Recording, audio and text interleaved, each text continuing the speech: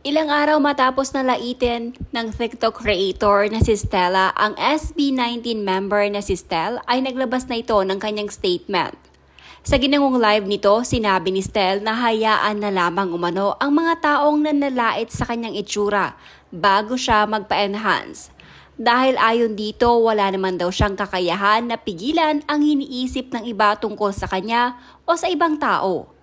Bawat tao daw kasi ay may kanya-kanyang pag-iisip, kaya hindi nito mapipigilan ang iba na laitin siya. Sa halip na magalit si Stel ay pinayuhan na lamang din nito ang kanyang mga followers, maging ang kanyang mga tagahanga na ayon dito wag na lamang pansinin ang mga negative. Sa halip umano ay ipagpatuloy na lamang ang sari-sariling buhay mag-focus na lamang sa goals. Ang importante ay wala daw inaapakang tao.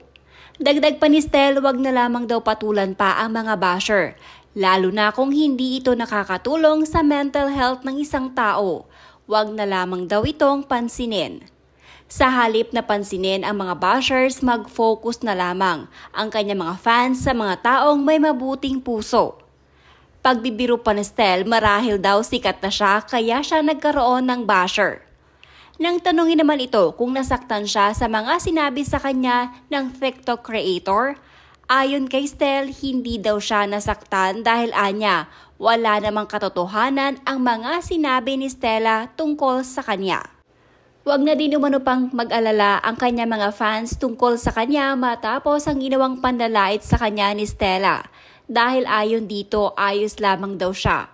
Wala daw dapat ipag-alala ang kanyang mga tagahanga. Guys, wala naman na tayong magagawa sa sinasabi ng iba, sa iniisip ng iba, kasi sila naman yun eh. Wala na tayong magagawa doon. Let's continue life and let's keep on doing the things we love. Kasi yun lang naman yung hindi nila makukuha sa atin. Focus on your goals, basta wala kang inaapakang tao Napakasimple pero pasok sa lahat ng bagay. Kayo kasi mapagpatol din kayo eh.